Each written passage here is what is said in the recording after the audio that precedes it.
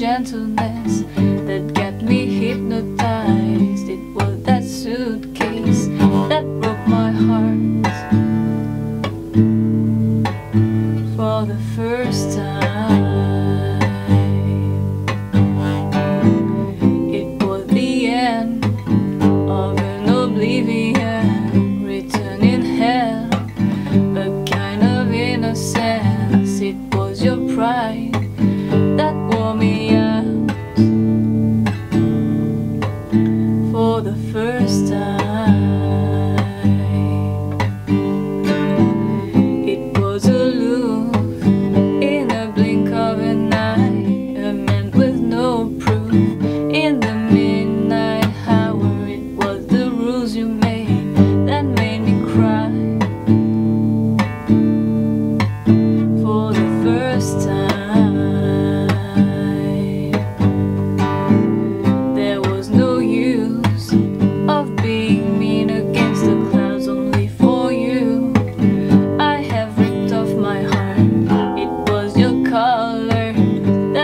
happy smile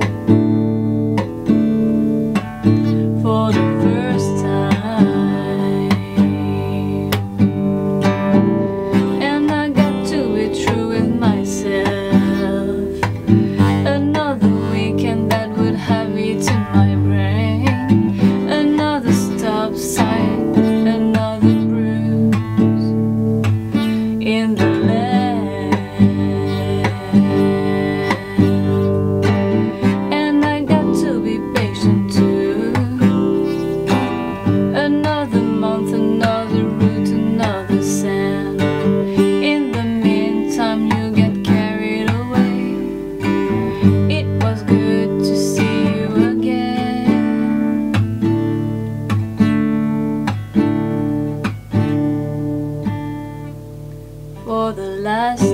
time